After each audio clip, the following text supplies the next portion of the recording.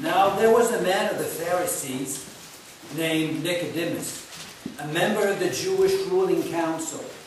He came to Jesus at night and said, Rabbi, we know you are a teacher who has come from God, for no one could perform the miraculous sign you are doing if God were not with him. In reply, Jesus declared, I tell you the truth.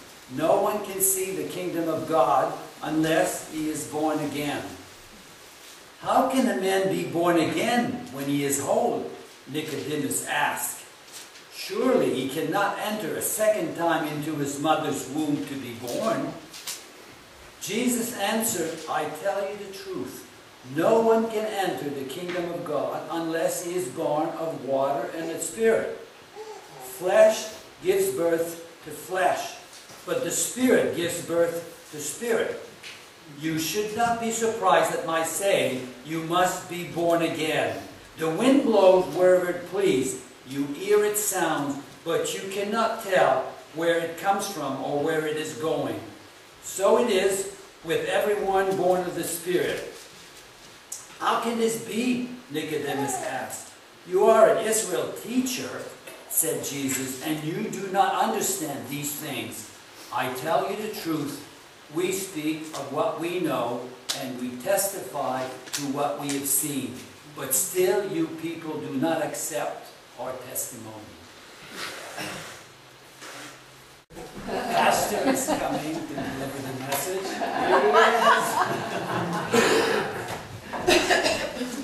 Good morning. Thank you, Ron. Glad to be here this morning with you folks. Thank you for that music, worship team. But we are missing sticks. That's for sure. Lord willing, sticks will make it back for next week. All right. All right. And, how, and how's uh, Sticks doing? He's doing well. He's Working doing hard well. and having fun. Okay. That's Eddie if you don't know. All right.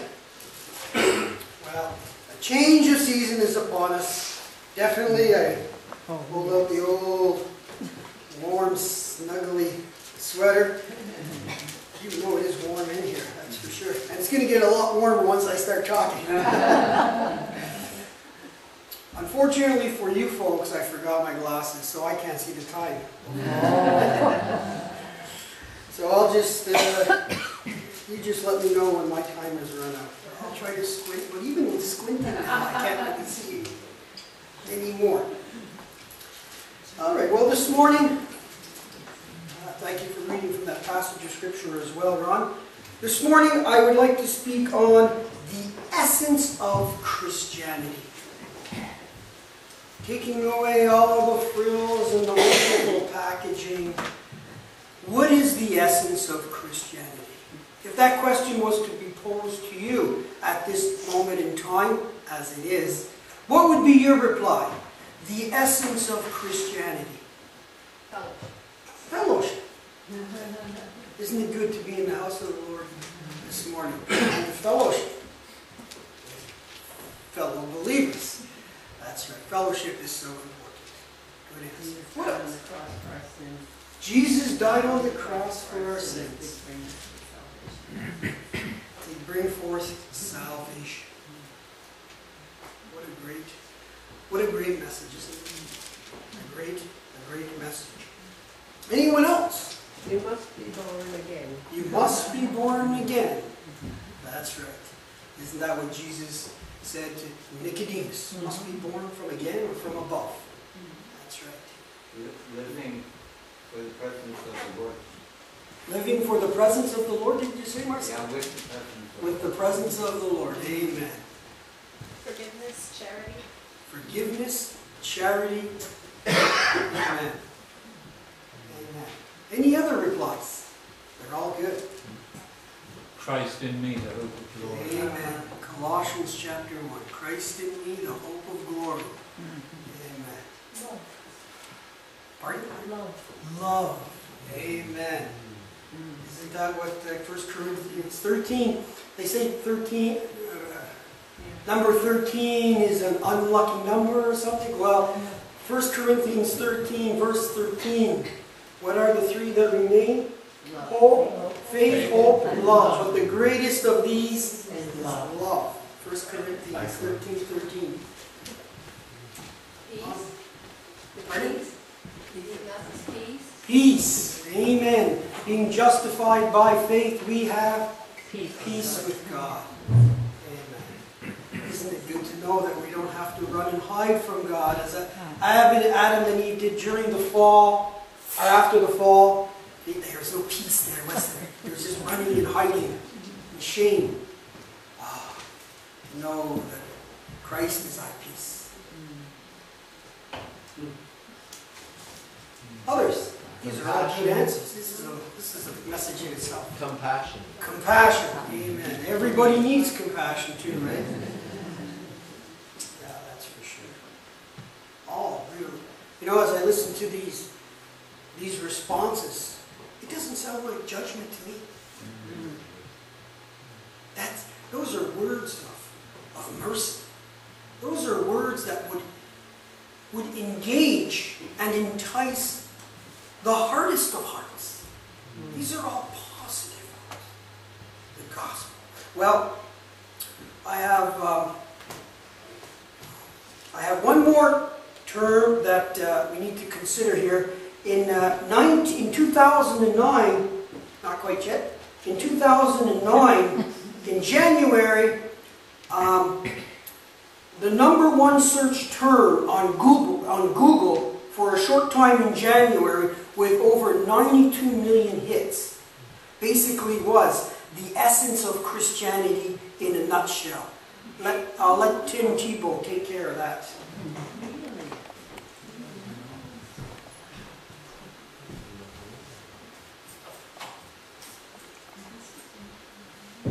And it's sort of the essence of Christianity. So I thought when people say, "Hey, what's that verse?" They look at this one. Uh, you know, they'll uh, they'll they'll see it, and uh, and hopefully, you know, some people look at it who might not.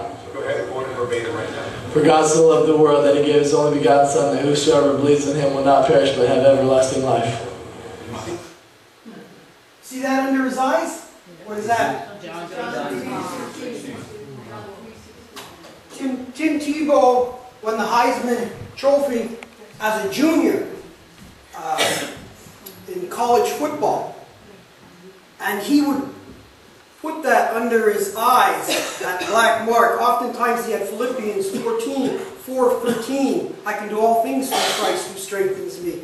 But for that big game, the final bowl game, he and in which the team won, he put uh, uh, John 3.16. And of course that brought tremendous, all of uh, the media encamped him, encircled him, and he, one of them asked him to quote it. And sure enough, following that game, and uh, uh, for a little while, that was that that verse was the most hit, uh, just even sight on um, on Google. Tim Tebow, he grew up in a missionary home. He's a, he's a, he's an MK. He was homeschooled, and his mother asked. Uh, he was he played for Florida State. His mother asked if he could play for the the football team, the high school football team, even though he was homeschooled, and he had that opportunity. And uh, you see, since then there was so much complaining that they they've introduced the Tebow rule that says that you can no longer put stuff under your eyes.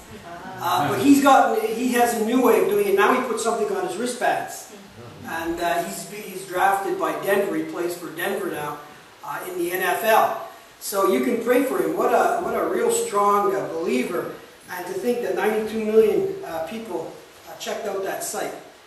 That is the gospel in a nutshell, isn't it? The essence of Christianity. For God so loved the world that he gave his one and only Son, that whoever believes in him should not perish, but have everlasting life. I'd like to share a few thoughts on that passage of Scripture, specifically uh, John 3 16, and breaking it down a little. So if you have your Bibles, would you turn with me to John 3 16? As we consider uh, the essence of Christianity.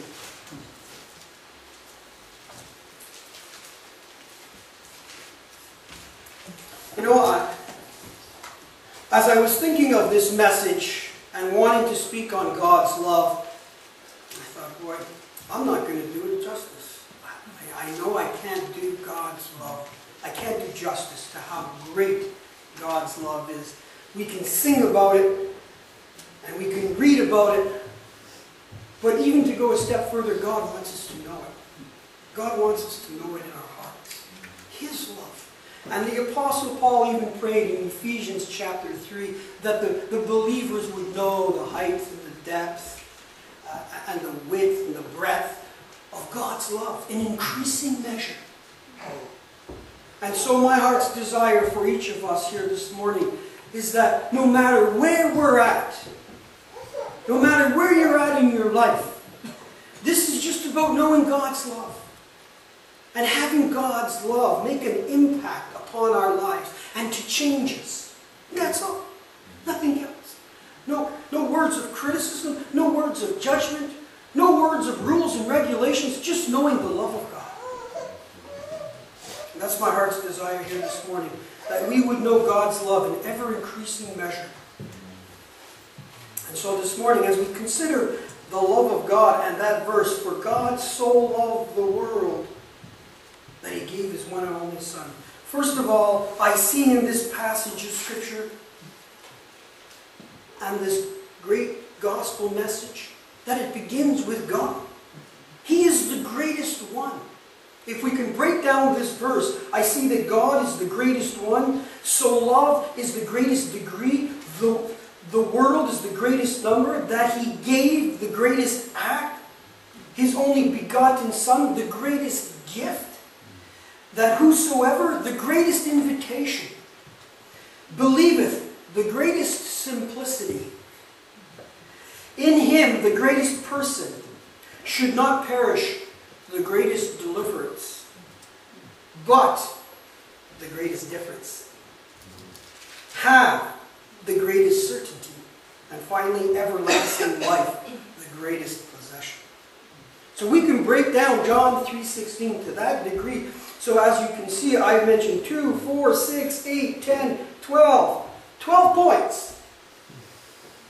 So if I do if I give two minutes to each point, that's 24 minutes. Is that fair? yeah? You see? I can't even see it. The light's shining in that. Okay. The greatest one. God. It's assumed and understood it originates with God. This love. God never defends himself in the scriptures. This, the exi- existence of God is taken for granted. It isn't something that uh, we debate about and preoccupy with from a biblical perspective, from God's perspective.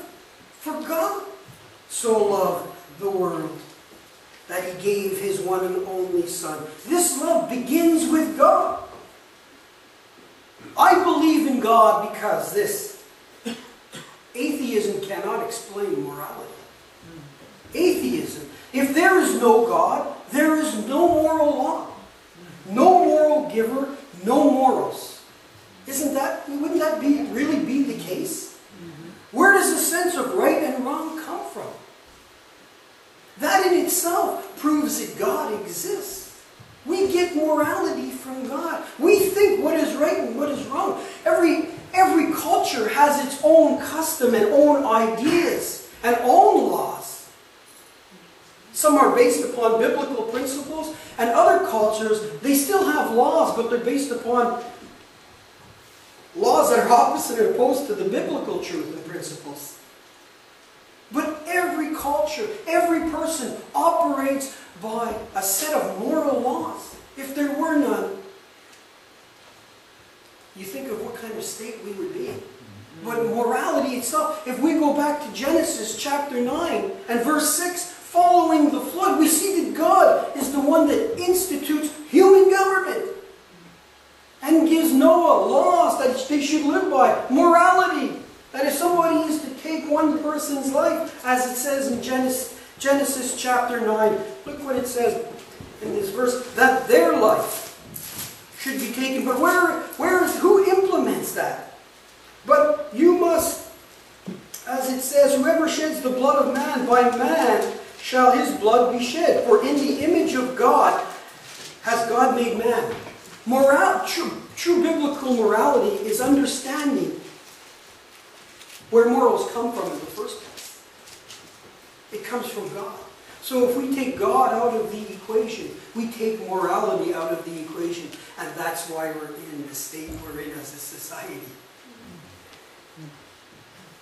I believe in God because atheism cannot explain life. Life came from God. God does not argue for his existence when it says, in the beginning, God created the heavens and the earth. Now, you don't see God going into a four or five point argument as to why it exists, life. But it's just simply said, and God created. Life came from God, or it did not come from God. It's one or the other. And science has yet to record an instance where life of any kind came from inanimate matter. It's impossible. It cannot be proved from a scientific perspective, an objective scientific perspective. So atheism cannot explain life. I believe in God because atheism cannot explain the universe. The simplicity of every effect has an adequate cause. Isn't that true? Every effect. If you look at a toy, that tells you that there must be a toy maker. If you look at a shoe, that tells you that there must be a shoemaker. If it tells you that you, when you have a watch, and I don't, but a watchmaker, it tells you that there must be a watchmaker behind that. The house. There must be a house builder. Why is it though all of a sudden when it comes to the universe, it just happened out of nothing? Everything in life, in this world, teaches us cause and effect. A simple principle. And for man, mankind, there must be a creator who made us. We just didn't fall out of the sky from nothing unless God spoke. And I'm a, I believe in God because an agnostic is one who says, can't know. That in itself is an, is an admission that maybe you can know. But an agnostic just leaves it there with, I don't really want to know, is what they're saying. Might be true, might not, but I really don't want to know because I'm too busy in my life. The greatest search of all is to, as we consider this passage of Scripture, know the love of God. You can't know the love of God if you, if you don't, if you reject God and don't believe in Him. So I believe in God. It starts with that John 3.16. For God, if we consider this passage of Scripture, the greatest one, so loved, the greatest degree, so loved. As we consider this so important, this such an important statement, love. The Bible says two things about love. That in John, 1 John 4 7, love comes from God. And in 1 John 4 8, it says, God is love. So love, true love, comes from God, and that to describe God in one word, God is love. We know that that's true. God's word describes Him. In Him there is no darkness. He is holy. There's no sin, no evil. He is love. God is love, and that word is an agape love, an unconditional love. No strings attached. It's perfect love. And love is what God is. And so this morning, I do want us to consider the God of the Bible, who is love. And this morning, as we consider God's love, it says this in John 15, 13. Greater love has no man than this, that a man lay down his life for his. So we know that God, love comes from God. God is love.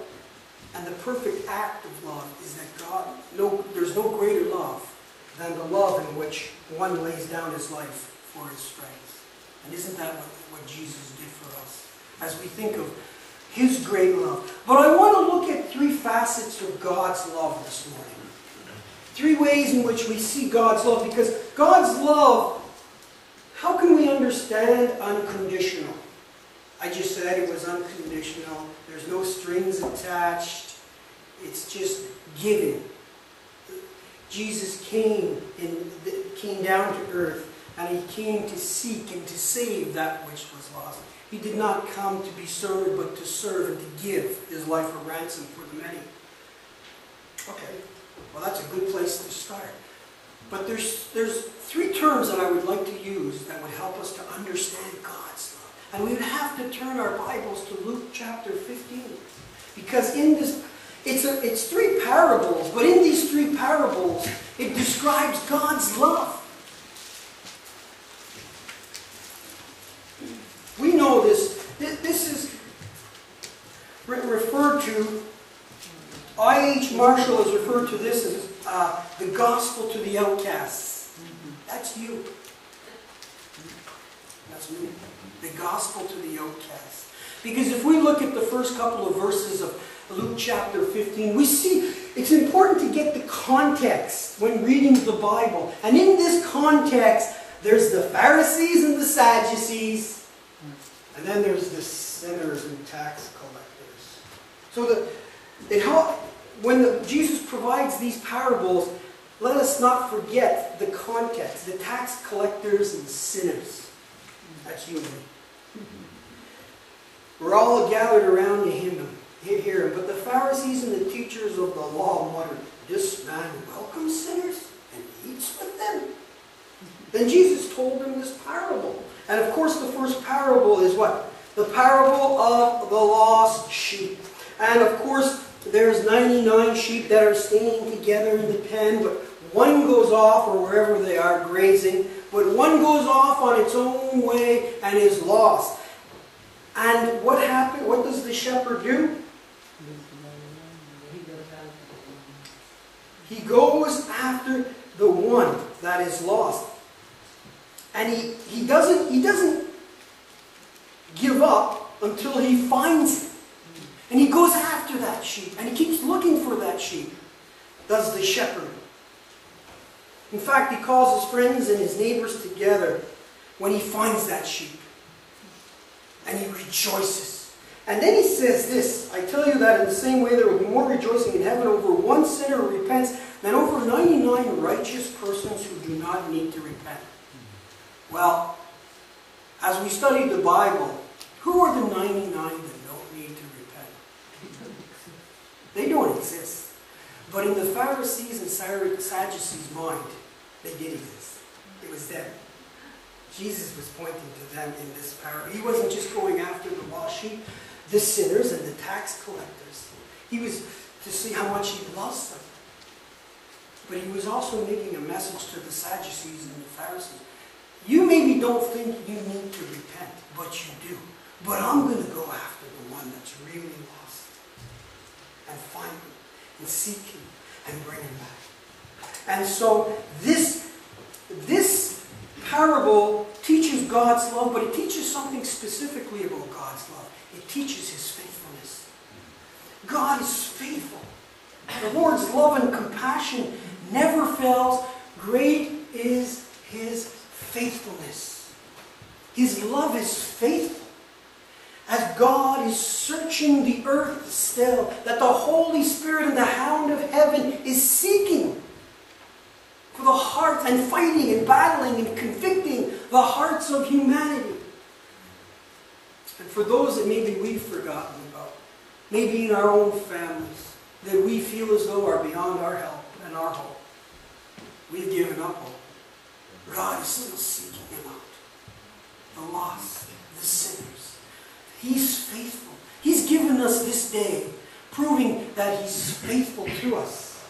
And that it's one more opportunity, one more day for the lost and the sinners to turn to the Lord. It's teaching us His faithfulness. There was 99, but yet He saw one lost. How faithful is our God? God's love is this. This is the gospel to the outcast, and John 3:16 is the gospel to the outcast. But as well, we see in this next parable, or excuse me, yes, the next parable. Yep, the parable of the lost coin, beginning in verse 8. We see a woman who has ten silver coins and loses one. Does not she light a lamp, sweep the house, and search carefully until she finds it? And when she finds it, she calls her friends and neighbors together and says, Rejoice with me. I found my lost coin. In the same way, I tell you, there is rejoicing in the presence of angels of God over one sinner who repents. I remember once I was driving taxi, and it was at nighttime, and I thought, oh, well, I couldn't find my wallet. And I thought, oh no, I've lost my wallet or someone stole it. So I kept on driving while I was looking for my wallet. I don't suggest that. that does show us how important money is. and sure enough, I'm, I'm looking, looking, bang! Yep, the car in front of me had stopped. I was anticipating it would just keep going. But that was just another accent that caddy number 87 had. Back in another life. I won't go into other details of part of the reason why I got into that accident. But you know, I was searching for that wallet everywhere. You know, this woman here, this, this parable of the lost coin, she was searching everywhere. And she was sweeping everywhere, the house, and searching it carefully, trying to find that. But with what does what kind of desire did she have and exemplify in this search? I see the fervency. I see the fervency of this woman and a desire to find that coin. And you know, as we think of God's love, God's love is not indifferent towards the world. God's love is seeking. He's searching. There's fervency in that desire of the Lord, not for any to perish, but for all to come to repentance and tr- trust in Christ Jesus and faith in Christ Jesus. There's a fervency there. Sometimes in our churches, I wish we had that same fervency. I wish I had that same fervency. Because I know the Holy Spirit wants me to have that fervency for the lost. To be praying, to be helping in any way possible. When we think of eternity, oh, the thoroughness of the search is what's important in this second parable. And it was a thorough search because it was a fervent search. And finally, in this third parable, the most exhaustive parable of the three, in the lost and found department, we see here the two sons, and without reading every verse, we know the younger son says, Give me my portion while the father is still alive. Give me my portion of the inheritance. The father gives it to him, and the son goes away to a far country where he spends all that money, all that dough. He wasted. And that's what the word prodigals means, isn't it? Wasteful. And so that's what he does. He lives out the name in his character and in his actions. And so, as we see the son there in that faraway country, where once he spends all of his money and all of his friends are gone, he is no one, he realizes the plight of his situation and it's his own doing. And then we see what he says. When he, verse 19, he says, I am no long, longer worthy to be called your son as he's thinking to himself what he can say to his father. Make me like one of your hired men. So he got up and went to his father when he was in that faraway country. A few weeks ago, a couple of weeks ago, I went to a musical concert. I was listening to my main man, Toby Mac. Uh, that was good. He did some of that body surfing. Right on.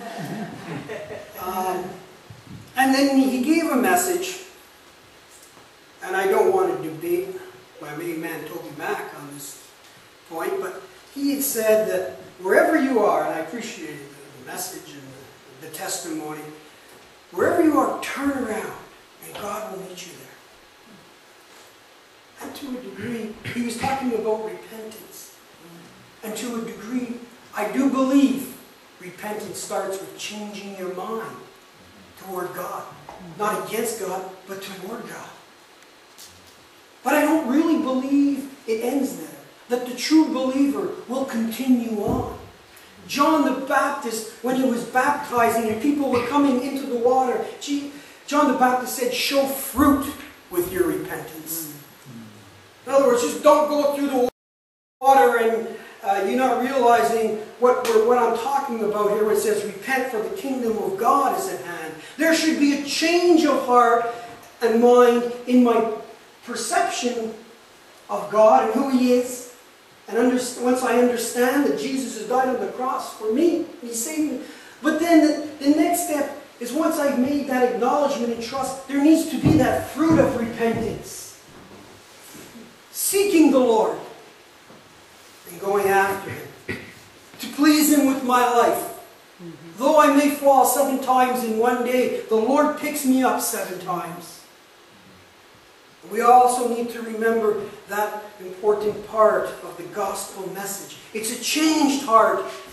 It's a changed life. And that we would bring forth fruit of repentance in our lives.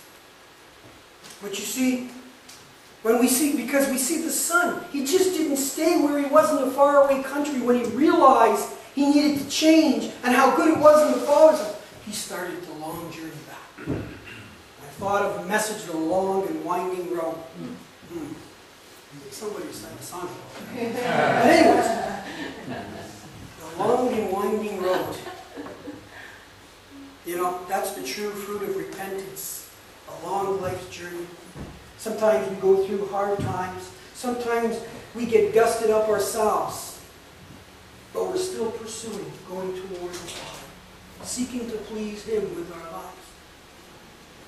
When was this? You know, of course, there would be the great theological debate. When was the Son actually saved? I don't know. But I knew he, he, he demonstrated fruit of repentance in his walk back to the. And the Father from a long ways off sees the Son.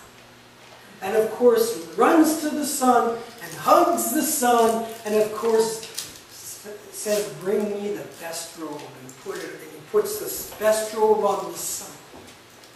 And he does the same with the, the ring and the shoes. And of course they have a great feast. But what does this show? The Father's. Forgiveness. If the first parable speaks of God's faithfulness and His love, the second parable speaks of God's fervency in His love. And the third parable speaks of God's forgiveness. You know what? Forgiveness alone can halt the cycle of blame and pain. Forgiveness alone. Nothing else. A changed heart and mind. We turn toward God and we realize what God has done for us and He can change us. Forgiveness offers a way out. The prodigal son had a way out. Going back home. Going back home. Isn't that a wonderful, wonderful message for you and I? Going back home. A way out. Not, not escaping, not running, not hiding. But God provides a way out in which His love changes our lives. In the days when the greatest evangelist Moody was preaching in Chicago, a man, partially under the influence of liquor, seeing the warm lights of Moody's tabernacle, staggered up the steps to the front door. Upon opening it, he saw no one within, but he did see the motto hanging above the pulpit God is love. The man slammed the door, staggered down the steps, and muttered to himself, God is love. God is not love. If God were love, He would love me, and He hates me. He continued his uneven walk around the block, still muttering to himself.